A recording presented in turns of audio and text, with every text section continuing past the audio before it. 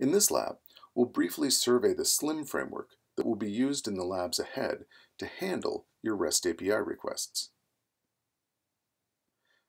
The SLIM framework is a powerful, lightweight routing framework that uses an approach to routing first made popular through a tool called Sinatra, and that you may also be familiar with through powerful tools like Laravel.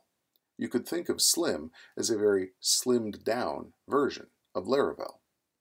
It's going to handle for you your dependencies, your middleware, your routes, and your settings, and more beyond that that you can check out in the documentation.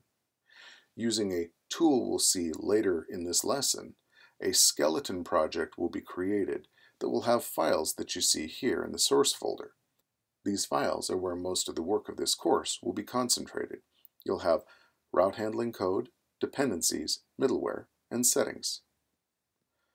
Slim handles dependencies through a container associated with the app object, which is the core of the whole framework.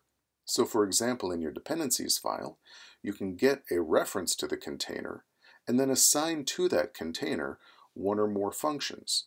So if we assigned a function titled renderer, as you see here, that renderer function is going to be available in your route code, as you see here we could have a get HTTP verb route that is receiving a parameter called name.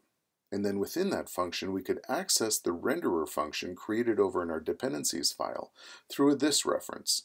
And whatever features are available through that, such as this render method, we could use them within our route as shown here. Slim handles middleware as well. So middleware is functionality that runs before or after some or all of your routes. In Slim, you add such functions directly to the app. So as we see here, we're adding an inline function that receives a request, a response, and then a reference to whatever should run next. Each execution of a middleware function in sequence, depending on how many you add, passes to the next handler until the route code itself runs.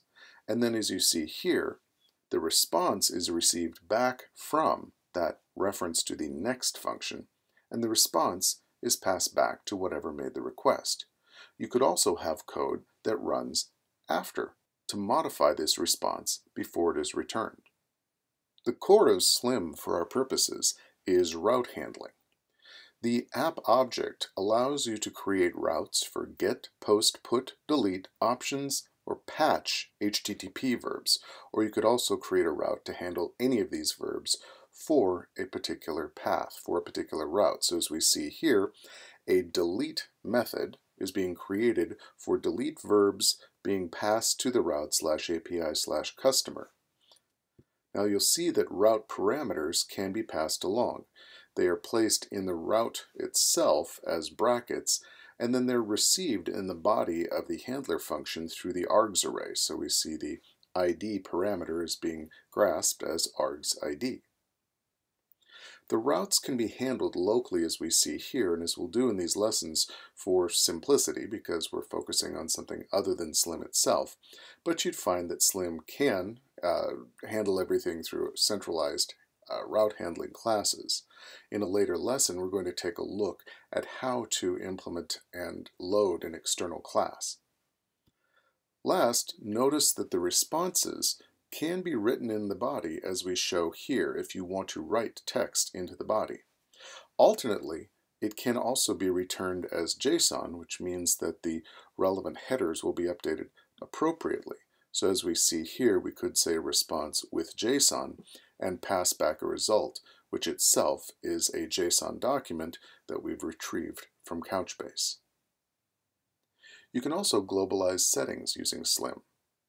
You can assign associative arrays within this settings object created within the settings file. In our case, for the purposes of this course, we'll assign username, password, bootstrap URI, and bucket name values, although such things would likely in a production app be assigned dynamically these values are then are exposed to our routes. As you see here, in the dependencies, each function assigned to the container as a dependency receives a reference to the container, which by reference is called C, as we see here. Through that container reference, you can get the settings object and get values assigned within it. Here we're assigning it to a local variable settings, and from it we can access the values that we set, like bucket name and password. Now because we assume you're a PHP developer, you're likely already familiar with this powerful tool called Composer. Composer can be used to manage dependencies, build projects, and more with PHP. You can get Composer by going out to getcomposer.org slash download and one way to access it is to run the script shown as we see here on screen. If you're using Mac OS, this is an easy approach to use. It's going to create within your project this composer.phar file, which is then used as the composer tool locally for this project. Of course, you could also configure it for global use within Mac. If you're working on Windows, it's also easy to use this executable to install Composer, and we'll show this in the lab. It'll expose Composer globally for use from your command line within Windows. Slim provides a skeleton project that is installable using Composer.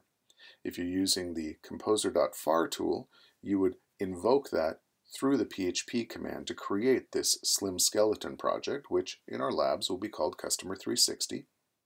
If you have Composer installed globally, either by using the Windows executable or configuring it in that manner on Mac OS, then you would use the Composer tool directly as shown. As you'd expect, all this is covered in the workbook. So where can you find out more about these tools? Well, as we say, the workbook and solution code walk you through wiring things up, so you're going to have your hands on it all in just a few minutes. But both Slim Framework and Composer have good documentation.